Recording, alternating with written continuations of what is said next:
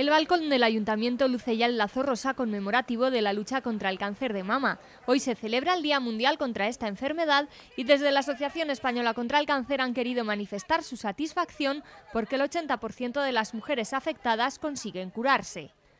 Hace muy poco, estamos hablando del 60 y tanto, eh, es una superación. Eh, a pesar de que los nuevos casos son más que los anteriores, pero estamos ganando la batalla por ese sitio.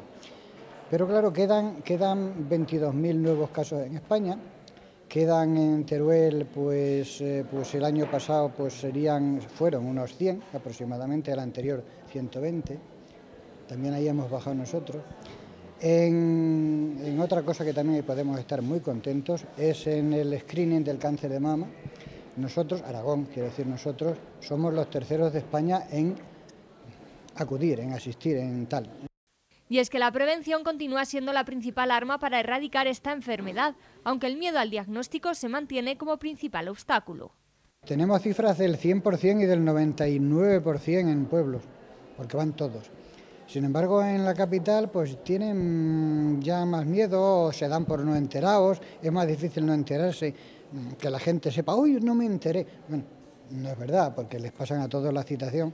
Quiero decir, lo que ocurre es que hay realmente, hay miedo, es como hacerse un análisis, no un electro, no se hace uno de esas cosas, no vayamos a que tenga el colesterol y encima tenga que tener cuidado, claro, y la gente pues le da.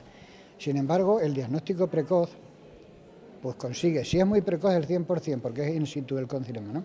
Pero si es precoz se consigue hasta un 90% de curación. Las afectadas son las primeras en ratificar estas declaraciones.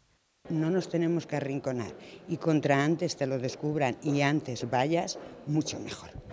Es un error el coger y querer esconder en la cabeza como el, el, avestruz, porque no se saca nada. Si lo tienes, ahí lo tienes. Entonces, contra antes te lo descubran, mucho mejor.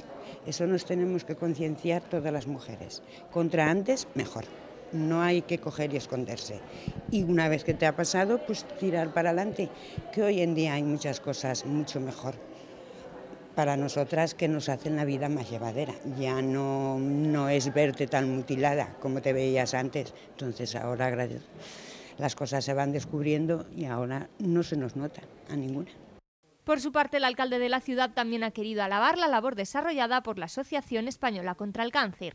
Yo estoy encantado con que elijan el ayuntamiento tanto para poner el lazo rosa en la fachada como para la conferencia que van a dar ahora.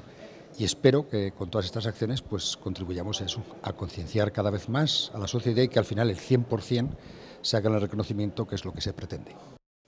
Una dosis adecuada de buen humor y el apoyo de familiares y amigos son otros ingredientes fundamentales para vencer al cáncer.